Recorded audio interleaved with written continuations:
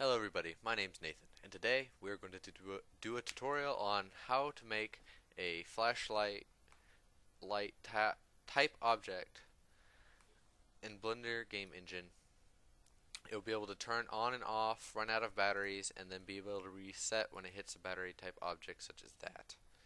Uh, for a demo of it, which we'll eventually end up on uh, with textured mode on and GLSL shading with horizon color and stuff set to lower values. Turn on, the timer goes up, Oh, and you're about to run out of batteries. It turns off. Go up, you hit the battery with the correct bound box on there. You're able to turn it on again. So you turn it on and turn it off. Timer stops, and then oh, can't turn it back on until you hit the battery again, which um, can change this if you want.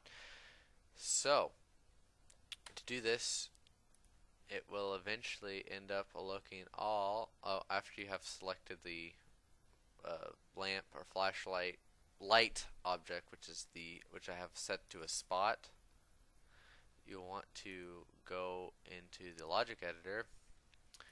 And these aren't there right now. Ignore all this. Okay so you want to set it up like this pretty much, uh, with one mouse button on here and six properties underneath that. Uh, name them such as this with the right click on, off, no bat, able, not able, on. And then the AND controllers, you want to have seven of those, seven AND controllers. And I named them A through G and then on the actuator side um, you want to name it just like this. With these here turn on turn off tog on add timer not able able off and reset timer. For those. Okay so back to the sensors. And the sensors for R click is obviously right button on your mouse and you want to set that to tap on the second one, which is on, you want to set that evaluation type to equal property on, which will be the three properties you will now add, which is a which is one, which is a float. It's called timer. It's not the property timer. It's just it's the type float, but it's called timer. Don't get those two confused. There's a difference. The next one call able, A-B-L-E, uh, not as in Cain and Abel, and you want that to be a boolean, and you want to check that, and then the next one you want to be called on, and that also be a boolean but not checked. So then you'll be able to check this on value here, and you want to check if it's true. Then for the next one, off same. It's still checking the value on here but except we want to see if that is false or not checked. So if that's not checked which would be true right now then you want to check um, uh, the value timer. And this will be how much battery time your flashlight has it's an interval because the flashlight will rarely ever equal the exact value that you put in. So you want it to be an interval of whatever the value you want to turn off at and just the next integer up. And so it will turn off after 4 seconds pretty much. And that will check the timer uh, property. The next one you want to have on able you want to check see if able here is true. So it is able to do it. That's why I named it able. The next one you want to have not able. Uh, it's still checking the uh, property able here, except you want to see if that's false. So those two are going to see if the flashlight has the ability to be turned on and off. It's different than if it is on or off. It's just going to check whether it can be turned on or off. And that will be whether it runs out of batteries and then the last one it'll be on with the add timer in parentheses because it's the same thing as this on up here except that instead it has this pulse timer here, which is important for adding the timer uh, value here constantly instead of just one time. It has to do with the Blender's physics ticks. Um, and you want to set the evaluation type to equal, and you want to check if it's on. So if the value is on, then it will constantly add to the timer. Okay, now after minimizing all of the sensors on the left side, now to hook them up to the AND controllers, or the add controllers, actually no, just AND controllers, uh, in the middle.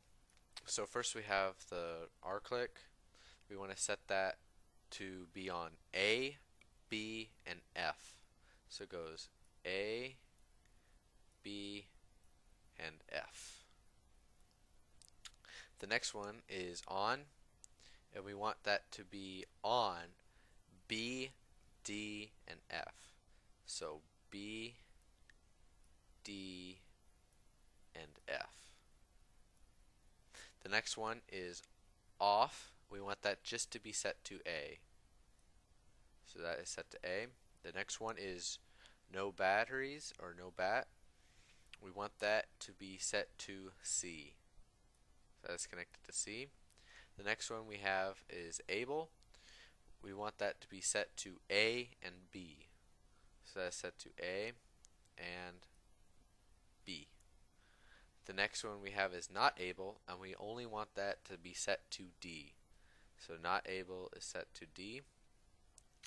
The next one we have is on and add timer in parentheses, and we want that to be set to G. Now, you noticed I had this one here, collision, set to E, and that is basically going to be later is it's going to be the batteries is whenever the character hits the batteries or the property hit which is one of the batteries uh, properties it will be hit to E but for now just um, you can leave E blank and so ignore that line right there. So that's how to set um, hook those up to the AND controller. Now to set up the right side before we actually figure out what each one of these actuators do just to hook them up we want to this is what it will look like in the end. So take a good look at that because that's what will end up being. We want to just delete all those we want to set up AND controller A to be to turn on and also to toggle on or tog on and B will be set to turn off and tog on. So both of those will toggle it on or off. C will be connected to just not able because that will be set to no batteries so that will make it not able to be turned on or off. D will be connected to turn off and off. So it will do the animation and it will also set the property to off. E will be set to able and it will also be set to reset timer. You see this is the one uh, that will be connected to the hit the battery uh, property which will uh, reset the timer and make it able to be used again.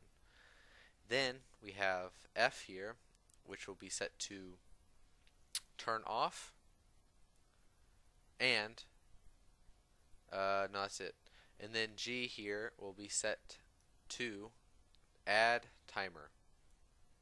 So that is what it looks like for this. Ignore this here. Now that you have that all connected up nicely, we want to configure them. So the first action, which is called turn on, we want to set that to the lamp action or whatever the flashlight's name action uh, uh, ones are. Uh, we want to check continue uh, here if it's not already.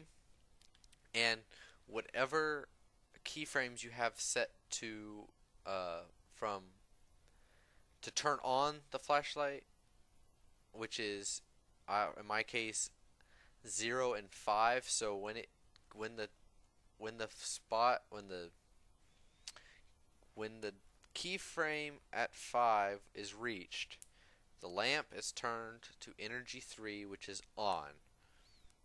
So we have the start 0 and because of a weird if it doesn't happen for you uh, don't follow this step but it has a weird tendency to sort of go back a keyframe so it gets brighter and then darker so I set this in keyframe to 5.1 and that sort of gets me more consistent results in what the on value for the lamp is.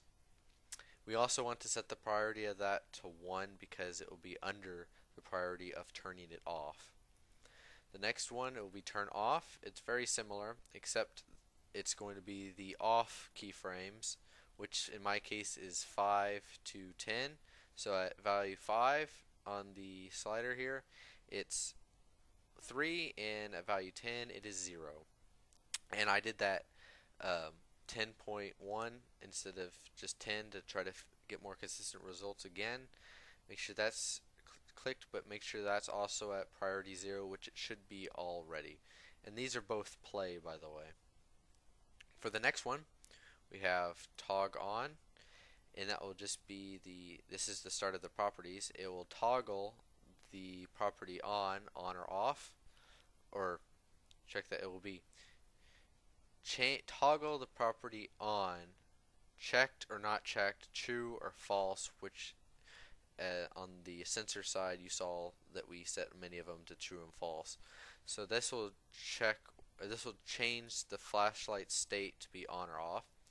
The add timer is basically the timer we set up here which is the float. It's going to add values 0.01667 and what that does is because of the blender's physics um, speed it will act like a normal timer that you would have like a stopwatch. And so whenever that value's on it will consistently add this value to timer. Uh, the next one we have is not able which is means the flashlight is not able to be turned on or off and it will set the value or the property able here to be false or unchecked and that will mean that you you can't turn on and off the flashlights and that's connected to C which is connected to the interval sensor which we have set up which is basically when it runs out of batteries it will not be able to do anything with your flashlight. The next one is able. This one is assign the value able to be true. So when you run into the batteries you'll it will reset the uh, able here to be true so you'll be able to use it more. And then the next one is property off so this will basically um, this is when it toggles um, this will turn off the flashlight. Uh, I think when either the battery this will turn off the flashlight when the battery is out which is because of the interval, or you click the right click button and it's able to be right clicked and it you, you're able to turn it off and that will be property on and you'll set that to false. So that it's off or on is false so it's off. And then the last one here is reset timer and that will be when you hit the battery it will assign the timer property zero so basically recharging your batteries. The time when time is zero, your battery's full. When the time is whatever value you have on the interval, the first one, that will basically be how when your battery is dead. So the timer is basically your battery feature, and the reset timer is set there. And that's how you hook up the actuator. Now that you have the uh, sensors, the AND controllers, and the actuators all set up, we need to set up the hit uh, or collide sensor on your character so that whenever the person character hits the battery object it uh, resets the timer and makes your flashlight be able to turn on and off and stuff like all that good stuff. So first you want to click on your battery object and you want to give it a property oh wrong wrong one property called hit so as a game property, hit. Uh, just a float is fine.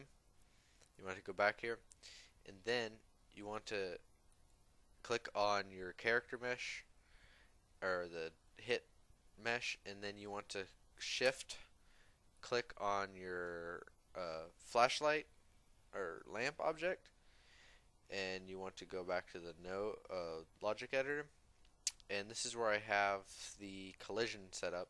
So the man here is that cube that I had set up as the collision. And whenever that hits the property hit which is the battery battery's pro, uh, property that is connected up to E here which then does the resetting of the time and sets able to be 1 again which is so that's it. I hope you've enjoyed my tutorial and that I hope that it works out correctly and you have no issues with it. If you have any issues, please leave a comment in the comment section below, and either I or someone else will hopefully be able to get to it. And if you have any solutions to those problems, please respond to those who have the problems, or even if no one has stated them yet, please put them down in the comment section below, and that would be greatly appreciated so that we can get this to work 100% if for some reason there's a glitch in it that I have not been able to find. But as far as I can tell, this thing works perfectly.